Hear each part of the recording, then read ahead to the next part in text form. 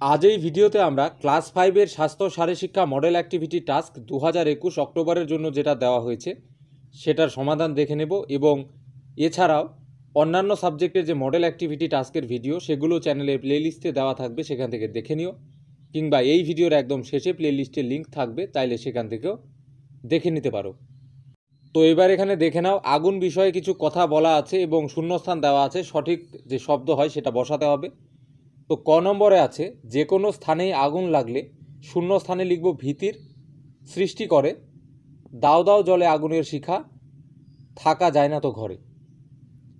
এরপরে খ নম্বর আছে, অযথা দৌড়াদৌড়ি না করে নেমে এসো রাস্তায়, নিকটবর্তী এখানে শূন্যস্থানে লিখব দমকলে যেন খবর পৌঁছে যায়।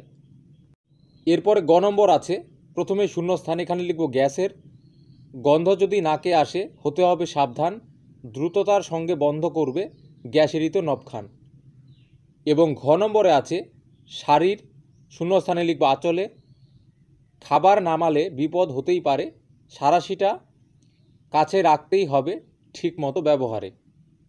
এবারে ও নাম্বারে আছে, গ্যাসের গন্ধ পেলেই দরজা, তারপর শূন্যস্থানে লিখব জানলাটা, দাও খুলে, জ্বলন্ত স্টোভে কেরোসিন যেন ঢালবে না কেউ ভুলে। এবং তারপরে চ নম্বরে আছে, হুকিং করাটা বড়, এখানে শূন্যস্থানে লিখব অপরাধ, তেমনি ভয়ঙ্কর, অসাবধানেতে আগুন লাগলে পুড়ে যাবে বাড়িঘর।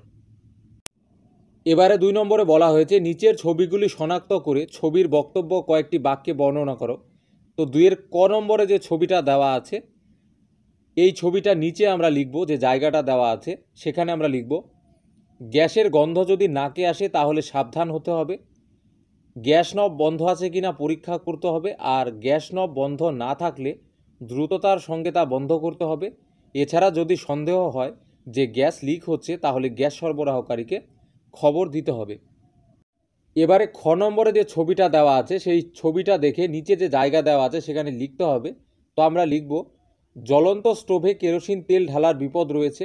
কারণ একবার যদি কেরোসিন তেলে আগুন লেগে দাউ দাউ করে জ্বলে ওঠে, তাহলে মারাত্মক বিপদ হতে পারে।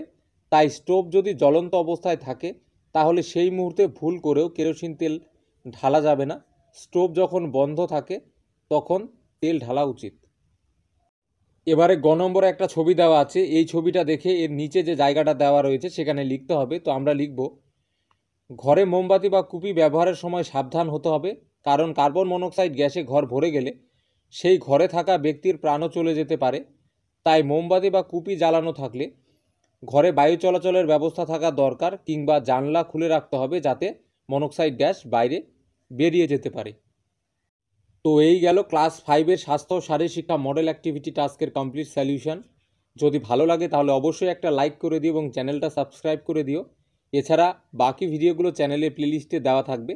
সেখান থেকে দেখে নিও, অবশ্যই এগুলো কাজে লাগবে।